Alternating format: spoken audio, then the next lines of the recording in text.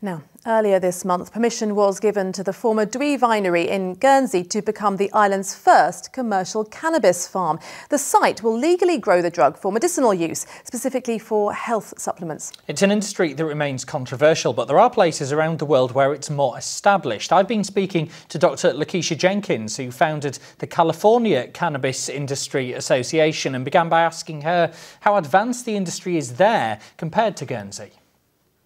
Well, I would have to say that considering California was the first to legalize on a medical level in the world, um, and we did so back in 1996, that we've had a long time to sort of work out the issues regarding the industry, how to properly operate, production methods and standards, and coming up with strains that are really highly medicinal or something that we definitely specialize in.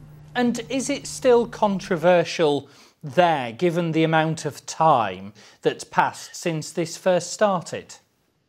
Absolutely and positively. And one of those reasons being is although we legalized on a medical level in 1996, we didn't actually regulate our medical cannabis industry until 2016, is when the regulations actually went into place. So we had about 20 years of running without firm regulations on the industry what, in your view, can Guernsey learn from what's happened in California over the last 20 or so years?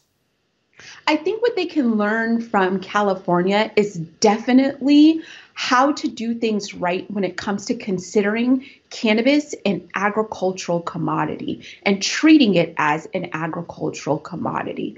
We need to look at it as more of agriculture and nutrition and a supplement as opposed to a dangerous drug. And I think that that's the one thing that California does right and one page that every country could take out of California's book. Because that's not an easy balance to make, is it? There are still those people who hear the word cannabis, they think of the drug, they think of people using this for recreational means, and they fear that growing it for health supplement means will lead to more acceptance of this as a recreational drug people that are interested in cannabis as a whole sometimes get a little tunnel vision and very focused on just the cannabis itself. And they don't realize and understand that it acts exactly the same as any other botanical and any other nutritional supplement.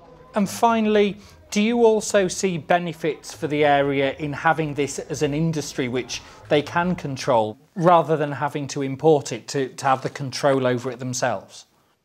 Absolutely. And I'll give you an example. I've been working very closely in Jamaica. I've actually relocated um, to Jamaica to work on the cannabis industry there. And what I'm seeing is that government coming together to support the indigenous farmers, to support the people that have been growing cannabis and using it as sacrament historically, and figuring out ways that it contributes positively to the GDP of the country and creates a sort of not only an economic development opportunity, but an economics independence opportunity as well.